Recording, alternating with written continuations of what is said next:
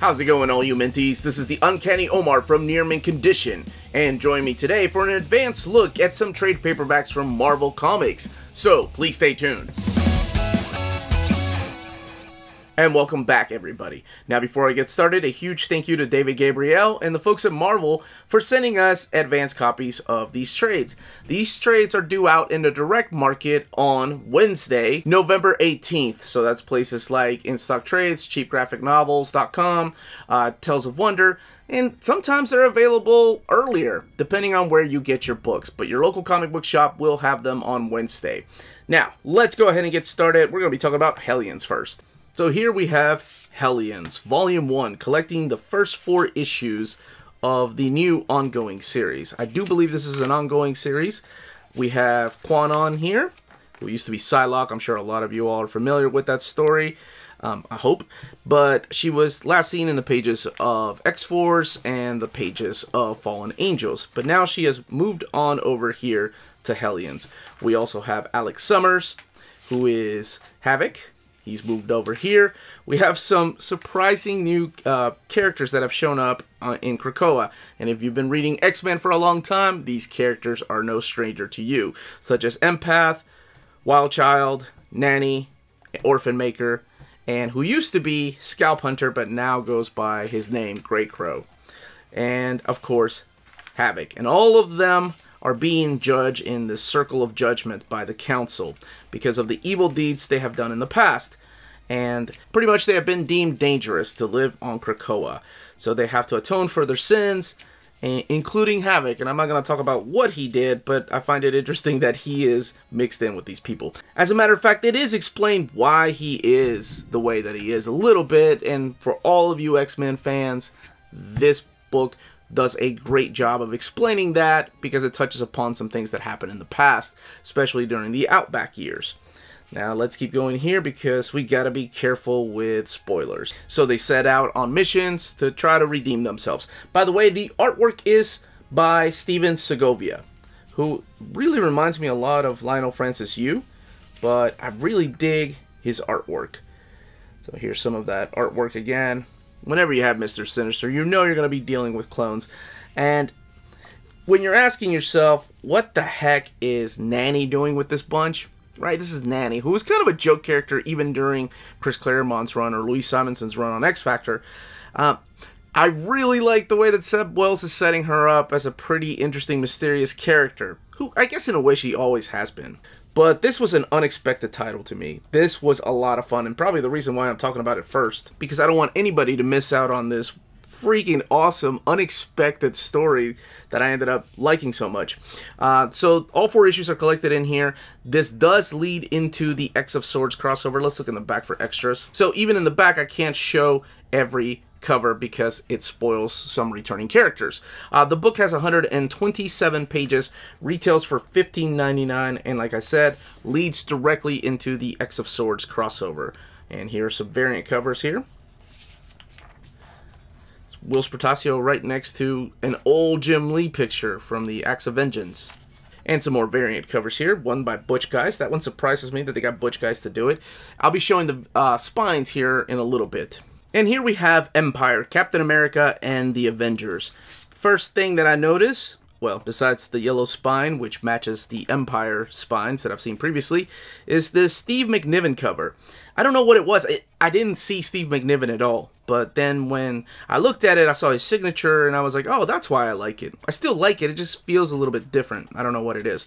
So this book collects two miniseries. You have the three-issue miniseries of Empyre Avengers, written by Jim Zub and artwork by Carlos Magno. And then, this is the surprising one, you have Empyre Captain America 1, 2, and 3, uh, written by Philip Kennedy Johnson, which isn't the surprising part. The surprising part is this. The artist is Ariel Olivetti, who I'm really familiar with because he has this very unique, like I almost want to call it heavy metal type of art style and it's almost like a mix of CG, like almost like graphics from Doom, if or the Unreal Engine.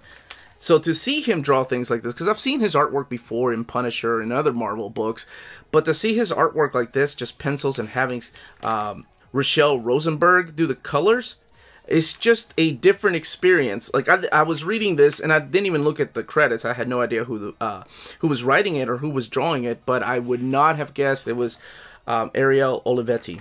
So the story is pretty much focusing on the Avengers and how they're dealing with the Cotati invading Earth. Right? They're teaming up with Skrulls and the Kree, and they're fighting the plant lives here on Earth. Let me show you some of this artwork by Magno. Uh, look at Man Thing. First of all, damn, that is an awesome picture. You all know I love my boy Dane. But here is what Carlos's artwork looks like. Uh, Carlos Magno. He has a very Gary Frank, Leinil Francis Yu type of art to him. And here's some more pages. Now let's look in the back here for some extras. So we have a couple of extras here, some variant covers. Of course, I am censoring this final page of the miniseries, not to give anything away. But another surprising thing, that is Steve Epting right there. That does not look like his artwork. And then you have Luke Ross and Butch Guice. Again, Butch Guice had no idea the man was still doing variant covers. That's really cool. Dan Mora and Kim Jacinto.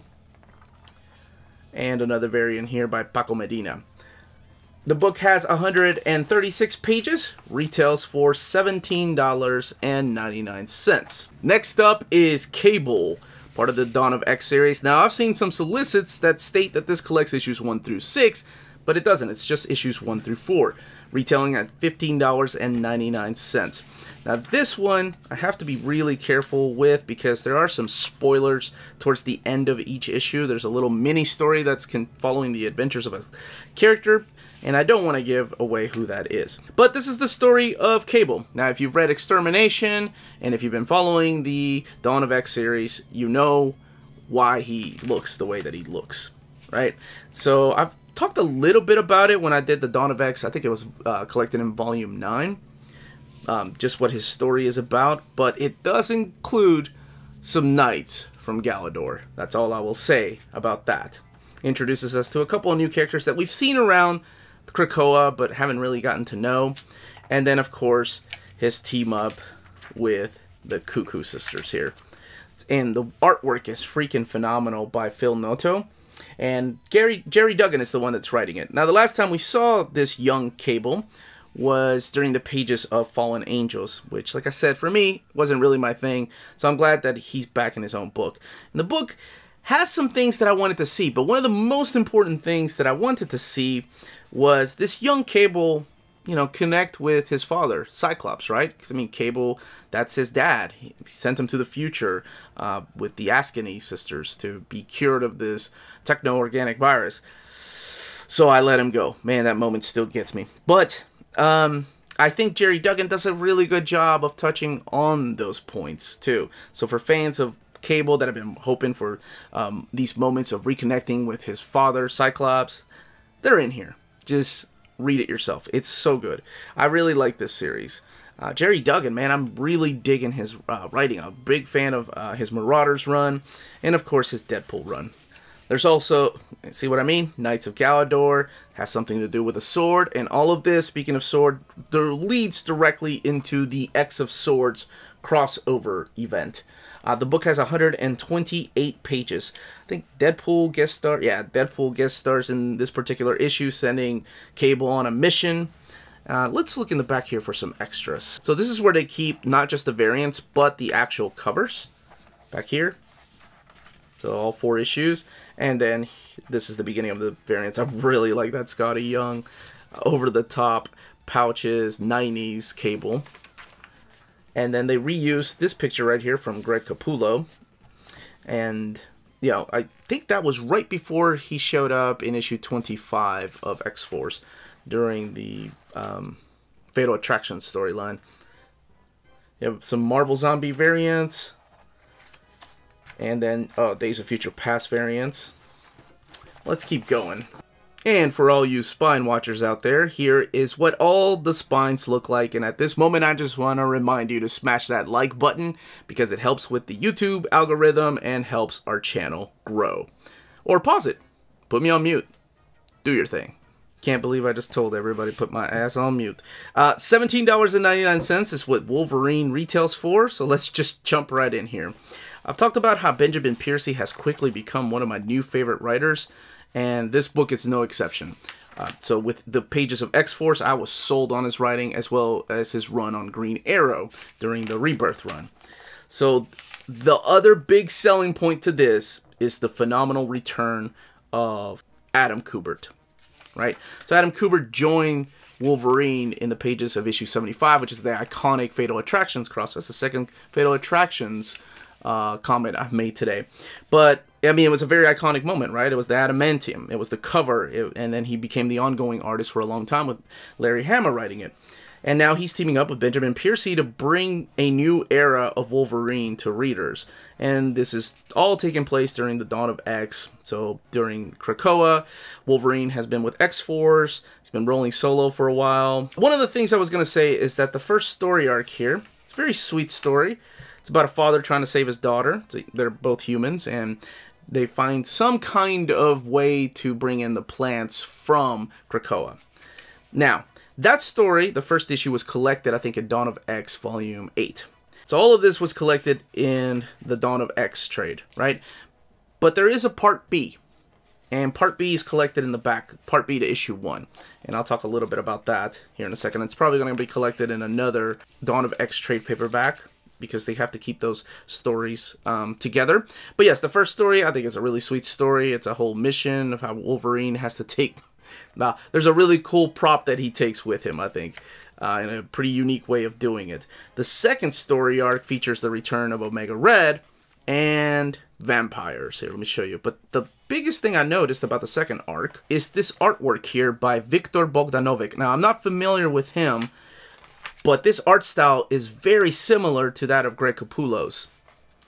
And I don't think that's a bad thing, right? I love when one artist inspires another artist. I mean, look at all the Jim Lee clones we had in the 90s, and some of them, like Travis Charest, uh, just went on and did their own thing. They evolved their own artwork.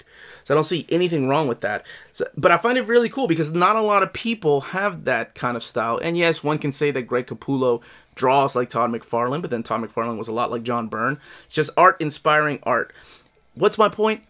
I don't know. Oh yes, vampires. The vampires uh, team up with Omega Red to go after Wolverine. That's what the second story arc is about. But I mainly wanted to focus on this artwork here. All of this again written by Benjamin Percy. Let's look in the back for some extras. Here's all the covers. And like I mentioned, 1B will probably be collected with the other vampire stories in another trade paperback of Dawn of X. All of this, again, leading into the X of Swords storyline.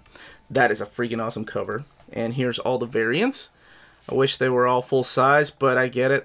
Keeping costs down. Um, that's a cute uh, Skottie Young one. Man, they put all the variants back here. Or maybe Wolverine just had a ton more than everybody else. Now, this book retails for $17.99 and this one has a 184 pages in it. Now, if you saw my video of my most wanted uh, collected editions coming out in November, Last Rites. Hell yes. This is the tail end of Ann Nocenti's run. This finishes out her run, sadly, and we have a new writer on the book, and his name is D.G. Chichester. I think that's how you pronounce it.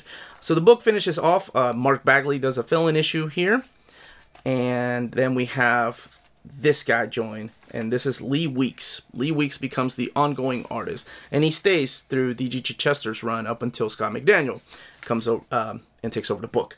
Uh, so the book collects issues 283 to 300 which is the iconic cover that you see here, The Last Rites Part 4, and Daredevil Annual Number 7.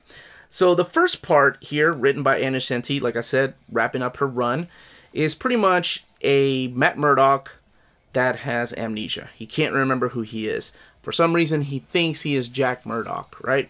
But there's somebody running around committing crime dressed as Daredevil. So it's this big story arc about how uh, Matt has to regain his memories because he can't remember who he is and stop this Daredevil. Phony. That's mainly what her last story arc is about. And as you can tell, it's got phenomenal artwork by Lee Weeks. And I remember, yeah, Daredevil was the first time. This is the first time I saw his artwork. It's a very similar style to the Kubert brothers, uh, Ron Garney, um, even uh, Steve Epting a little bit. That's what I see in here.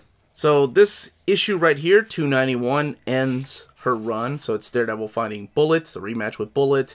Uh, kind of gets rid of some of her supporting cast to make for a new, this is the annual by the way, so that's not really spoiling anything, writer right here. And the first thing DG Chichester does is bring in Taskmaster and the Punisher and all these other characters from Daredevil's past. So now we have a new writer, and the ongoing artist is Lee Weeks. And all of this, I mean, he had to get ready for a 300th issue. He started with 292. You know, that doesn't give you a lot of time to uh, wrap up a lot of storylines or loose ends and start introducing your own story arc. But he did a phenomenal job, and I'm a big fan of Last Rites. I mean, to me, and this is going to sound blasphemous, but to me, Last Rites is the proper follow-up to Born Again. You know, it's it's about revenge. It's about um, somebody getting their comeuppance, and I think he does a phenomenal job of that, uh, tying a lot of these things to Born Again, as well as um, right here what he does with Typhoid Mary. But I will leave you to find that out. Book retails for $39.99. And oh yeah, Nick Fury gets involved. Yeah, the last rites, man, that was a pretty cool storyline. Am I alone here? It was only four parts, but I loved it. I can't show the ending, but let's see if there's anything extra in the back. There's 504 pages, by the way. So we have Marvel Age 106 talking about the 300th anniversary issue uh, Ann Nocenti wrapping up her run, and then, of course, DG Chichester coming in. And it's got little interviews here by different artists and writers that have worked on Daredevil over the years. And this is a page from the Marvel swimsuit issue. Huh. Maybe one day we'll get that omnibus. Again, 504 pages, volume 15, years 1990 to 1992. And that, as they say, is that. Now, these books are available from our sponsor, CheapGraphicNovels.com, your online source for collected editions up to 50% off retail price. Cheap Graphic Novels prides itself on excellent packaging, so your stuff gets to you in excellent condition, and they have amazing customer service. Check out their bargain deals for up to 90% off cover price. And for all you Minties that are watching, if you're a first-time customer, don't forget to mention that Near Mint Condition sent you their way for a promotional credit on free shipping on your next order. Now, this is only for U.S. customers. Cheap cheapgraphicnovels.com, your source for the hottest books with deep discounts, customer service, and excellent shipping that will keep you coming back for more. And that was the contents and the page count of each of these trades. Let me know which ones you're picking up. Are you an epic collector? Are you getting the Dawn of X trades? Or are you getting these single volumes like this? All of these lead into the X of Swords. Again, this was the Uncanny Omar. Please don't forget to hit that like, subscribe button, and ring that bell for notifications to let you know when our videos are going live. Speaking of live, don't forget to check out Old Reader, New Reader at 8 p.m. Eastern Standard Time with Wonder Maddie. Again, this was the Uncanny Omar. Thank you all for watching. More importantly, please stay healthy, stay safe, and much love to all of you.